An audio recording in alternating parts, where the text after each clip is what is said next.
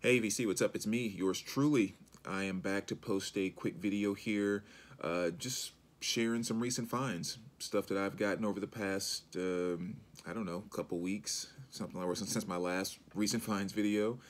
Um, definitely a really good haul too. It's been a while since I've gotten, you know, like a a, um, a really good amount of new stuff in my collection kind of all at once. Usually it's kind of finding a piece here or there, but um, you know, I, had some, I did a lot of selling over the, the holidays. I think it's always good on eBay too, because it seems like that's when people get, you know, gift cards and money and everything. So they tend to, seems like they buy a lot of records.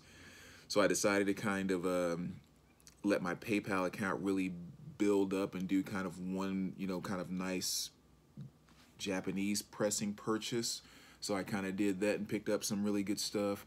And um, over the holidays, local record stores were carrying some really good stuff, some nice music on vinyl stuff that I'll share. And then I also went to a record show uh, last weekend. And like I said, for the first time in a long time, probably the last three or four shows I've been there, when I basically walked out with nothing. And this time I actually ran out of money. There was actually a couple or one more piece I wanted to buy that I didn't have enough money left over. And it's been a long time since I've, you know, because I usually go in there with a certain amount of cash and I just kind of tell myself that's all you get to spend because uh, I'm not rich. so, uh, and this is one of the first times literally there was still more stuff I wanted to buy and didn't have enough money. So that was exciting that I finally had one of those shows. Uh, so yeah, this is just kind of a combination of all that good stuff. So let me dive right into it. Uh, let's start off with the Japanese. Actually, I have like five CDs I'll show here really quick. Let me just get those out of the way. And these were just, and I've forgotten a number of CDs, but these are kind of some of the cool ones that stood out to me. Grace Jones. I'm trying to get her discography on CD, which I think is kind of nice. This is Warm Leatherette. You know, I, I love Grace. Really cool. Slave to the Rhythm. And on that, that Warm Leatherette, too, in case you're not familiar with that, one of the cool things on this is she does a cover of um, Tom Petty's Breakdown, which is kind of kind of a nice track. And then uh, Bulletproof Heart. So that that's some some cool Grace Jones pickups. Also Lou Donaldson, Midnight Creeper, probably my favorite album by him. That has a different album cover than the vinyl, so I thought that was just kind of neat to show really quick. And then one CD doesn't pop up too often, or even um, album for that matter, vinyl. Audio 2, What More Can I Say? One of my favorite hip hop albums from back in my childhood. So, so just kind of, you know, some cool CDs that I found there I wanted to show. But let's start off with, uh, let's start off with the Japanese pressings, then we'll do the music on vinyl, then all the other stuff. So, and most of these are all replacements. I think pretty much all these albums I had um, yeah, pretty much all these albums I had on, you know, some type of pressing, but kind of some nice upgrades. So Philip Bailey, Continuum. And most of you probably know Philip Bailey from Earth, Wind, and Fire. And this is kind of when he went solo. Great song on here is a song called I Know, which is probably my favorite solo, or my favorite song by him from his solo career. Yeah, I'll put these here. And I just showed this in my vinyl tag video that I put up from yesterday, but Kiss Dynasty. This is one of the ones I found at the um, at the record show, which was nice. And he had a, a number of other Kiss uh, Japanese pressings too. I just you know couldn't afford all of them, so. But that was great find. Let me do it like this. Howard Jones. Definitely kind of some great 80s stuff there. One of my favorite 80s artists. Definitely kind of defines the 80s sound for me. Uh, this is Dream in Action. You know, so here you got songs like uh, Things Can Only Get Better, uh, No One Is to Blame. I mean, just, you know, great 80s stuff. Ready for the World, my boys. Jheri curl. but yeah, definitely one of my favorite 80s R&B albums right here. This one is magnificent. I mean, songs like, you know, Tonight, Digital Display, Oh Sheila, which is probably the one that most people know, Slide Over. I mean, oof, that is a bad 80s R&B album right there. Uh, still working on the Pat Benatar collection as far as changing everything over to the Japanese pressing, so that's a great addition. Pat in her early days. in the heat of the night. And so this one here, you know, you have Heartbreaker, um, We Live for Love, some of that great stuff. And again, you guys have heard me say it probably literally in 10, 11 other videos, but do not sleep on Pat. Do not let her get lumped in your head as part of just the cheesy 80s Love is a Battlefield and all of that stuff. I mean, and again, I always say that too. Love is a Battlefield is one of my favorite songs by her, but Pat can rock it. That that that chick can rock as hard as anyone.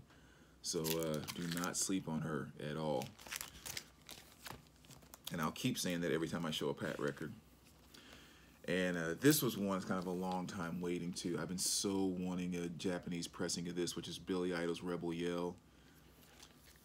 I mean, this album just plays such a significance for me in my overall musical life because, and because uh, when I was in fifth grade, the first album that I ever bought out of a store that wasn't just some dub thing or whatever else was uh, I asked my parents to, for Christmas to give me a copy of Billy Idol's Rebel Yell and Billy Idol was was my introduction to all things new wave, MTV, everything. The first time I ever turned on MTV, Billy Idol Eyes Without a Face was the video that I saw.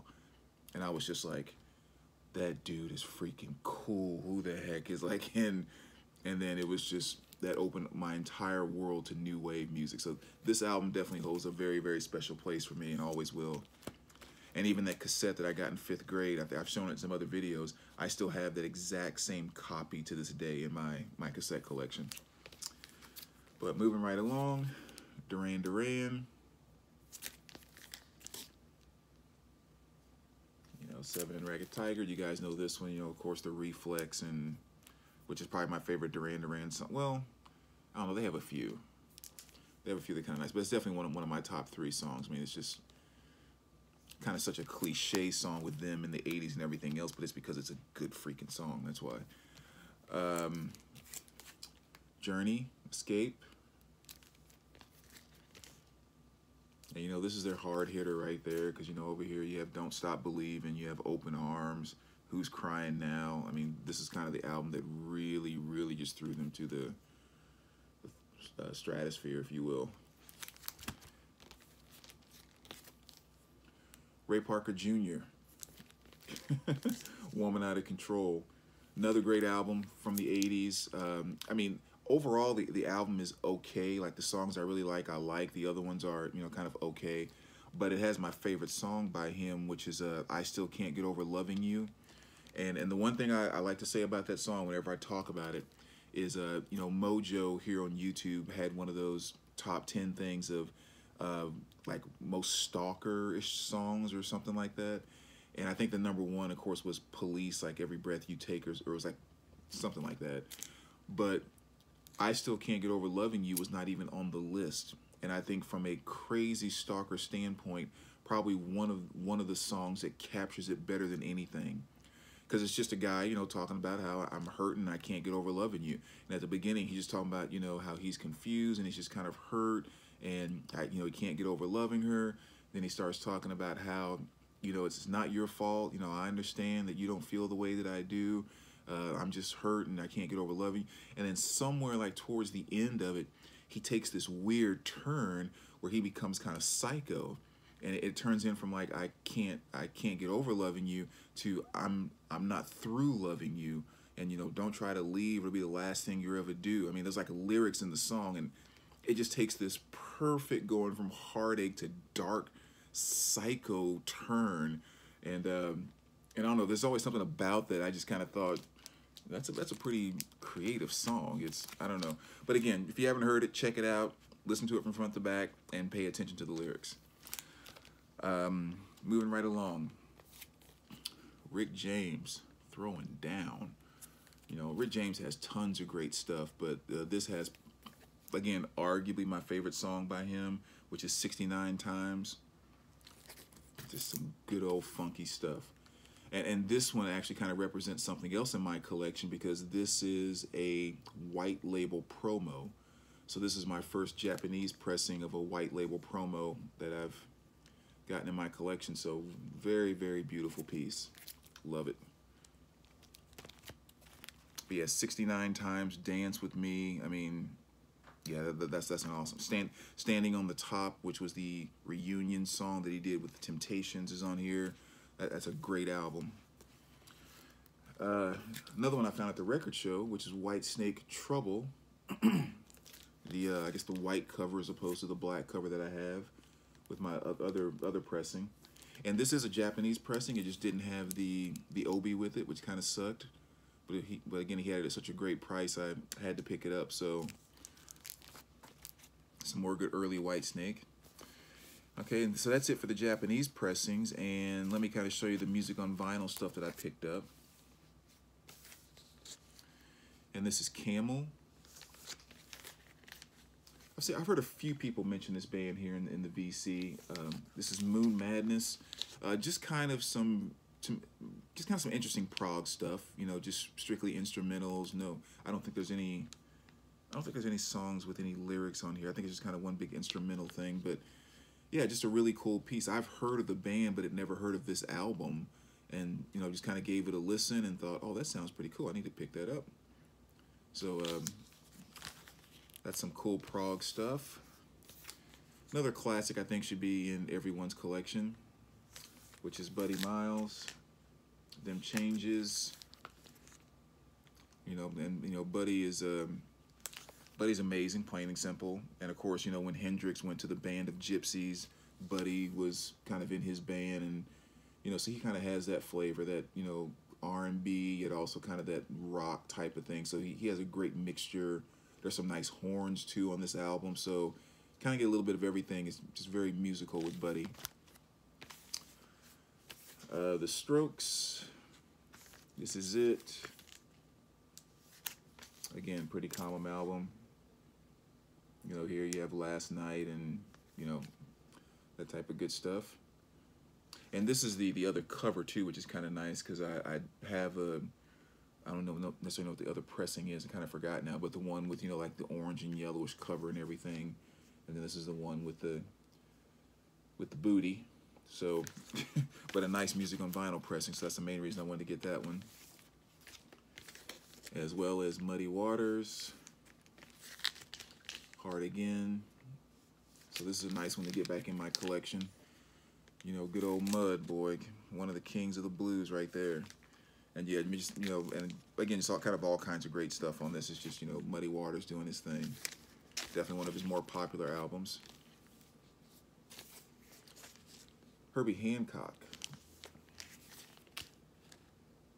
And here you have Sextant here. Again, another nice music on vinyl pressing really cool albums, kind of, you know, when Herbie was in his fusion, you know, kind of explore, trying to mix different things from different cultures and that type of thing. And I mean, he really kind of nailed it on this album here. So definitely kind of a nice jazzy fusion, you know, funky kind of thing by Herbie. So really, really cool album. Excuse me. And then, so that's it for the music on vinyl pressings. And then the rest of the things are just kind of random different things. And I knew this record show was going to be a heck of a record show because when I went in, I went to one table and flipped through really quick, saw good stuff, but just nothing I really needed. Went to the second table, and I'm so I'm not even in the place for 10 minutes, and I stumble across like one of the records that's on the top of my want list. So that kind of let me know this was going to be a good day. And it was this one right here, which is Betty Davis. And they say I'm differently. um, yeah, you know, I did, I did a video not too long ago, uh, just a couple weeks ago or so, kind of doing an artist spotlight on her, and this was the one that I still needed. And I mean, and you know, there were kind of a, a lot of them online, most of them kind of overseas, but some online, and and their reissues like this were running like forty five dollars, you know, anywhere from thirty five to forty five dollars, and I just you know didn't want to pay that much for it, but I really wanted it to kind of complete my Betty Davis collection. So when I walked into the second table and I'm flipping through and it's like, boom, and it only had, was $19 on it? I was like, sold. I, was so freaking pumped. So that was great for that to be the first thing 10 minutes into the show. I was like, this is going to be a good record show. But uh, but yeah, Betty Davis, really glad to get this one in my collection. That, that definitely marks one off the list. And I talked about her in a previous video. So like I said, just go back one or two videos ago. I do an artist spotlight on her, and um, you can get a good feel of why you should have some Betty Davis in your collection because she is awesome. This is another one I picked up at the show, which has been quite a few years trying to get one of these. Well, find one at a price that I was willing to pay and in good condition. And uh, sure enough, stumbled across this at the record show, which is Anvil's Metal on Metal. Probably my favorite Anvil album overall. But um, yeah, again, to find one in just you know perfect condition at a great price was awesome. Same here, kind of a replacement, Diary of a Madman by Ozzy Osbourne. That was one I had to purge a little while ago, so uh, nice getting the, you know, nice brand new reissue. Best of the Impressions. Another good one there. I really don't have any impressions in my collection, which I, you know, was kind of weird when it, when I, you know, kind of thought about that after I picked it up and looked at it. I was like, I don't have any impression albums. Um, I mean, I have a lot of Curtis Mayfield stuff, but no, nothing by just the impressions. So just kind of a, you know, a nice, the best of, nice little pickup there. And Leon Bridges Coming Home. Another album that I had seen so many times and just kind of passed over, never paid that much attention to it. And I was watching some movie uh, like a week or two ago, and the song uh, River came on. And I was like, whoa, that's a really good song. So I went to the credits at the end to see who it was, and it was Leon Bridges. I'm like, holy cow, I need to go actually go get that record. So so it is definitely a, a, good record. I mean, there's a couple of very specific songs that I, I, really like, like especially like The River, for example. I think that's an amazing song. Overall, I would say kind of an, a good album, but somewhat of an average album to me, mainly because he's awesome because he's trying to go back and do the old school thing. He's going back to just the the the, the great greatness, if you will, of 60s R&B, which is fantastic he doesn't quite have the chops to do it. You know, I mean, he's a good singer, and again, good album. Some songs are great, but just overall, you know, when you're trying to go back and reproduce uh, what Otis did, when you're trying to reproduce what Wilson Pickett did, you know, when you're trying to go back and, you know, emulate Sam Cooke, I mean, going back to their era and doing their stuff, that's a freaking mountain to climb, you know. And again, he does a good job, but it's just still on some of the songs, I kind of get that feeling of, yeah, you know, if you if you if Otis was doing that song, mm, but but still good album, definitely worth getting. And, and again, that song "The River" is is amazing. Uh, another piece you just need to get back in the collection. you guys know this one pretty well. Harry Chapin with um, "Cats in the Cradle." Always a nice, fun song to listen to. There's and there's some other. If you haven't heard this album all the way through, you know you can find this in dollar bins everywhere. In fact, I got this one out of a dollar bin. Um, but um, definitely an album to throw in and kind of listen to because if you know that song, but you know Cats in the Cradle, but don't know the rest, the rest of this album is kind of strange. It's not exactly what you would expect. So uh, it, it could be an interesting listen, even if you just get out of the dollar bin and listen to it for once and then give it away or take it back to a Goodwill or something it's worth a listen. Um, the Flirts, I found this version of this album, uh, which is, uh, you know, Calling All Boys. The I'm not sure if it's the American version or whatever, but I have another version that's called 10 Cents a Dance. Exact same track list, different covers, but, uh, you know, finding this, this other cover here, or the other version of the album, again, for only two bucks, great pickup the song that most people would know, probably know off of that one is uh, Jukebox. You know, Don't Put Another Dime in the Jukebox. I don't want to hear that song no more. That's the flirts off of that album. And talk about the dollar bin spitting up some other great stuff at the, the show. Graham Central Station. I mean, that was a heck of a find right there. Some great funk with uh, Larry Graham, who, as you guys know, was a bass player, Sly and the Family Stone. And this was kind of a blind buy at the record show. It was only four dollars though, so I thought it's kind of worth it. But um, Fun Boys Three, I had never heard of them, but when I saw that cover, I was like, okay, I got to I got to check this out because I, I can't tell what the heck is going on in this album. But then, kind of come to find out, I guess these were members that broke away from the specials. Well, I guess it kind of says it on the, the hype sticker there too. So I thought, well, heck, the specials were pretty freaking cool. So let's give this a try. And yeah, it was. It was, um, you know, kind of the type of thing you expect to hear from the specials. Um, so that was a, a new find. And again, another great dollar bin find at the record show. Sealed copy of Carly Simon, No Secrets. So that's another another great album. My favorite Carly album cover. Um, I love that shot of her and that with the hat and everything. It's just so just so 70s. I don't know. And then of course this has the song "You're So Vain," which is probably her most popular song I would think overall, but it's also my favorite song by her too.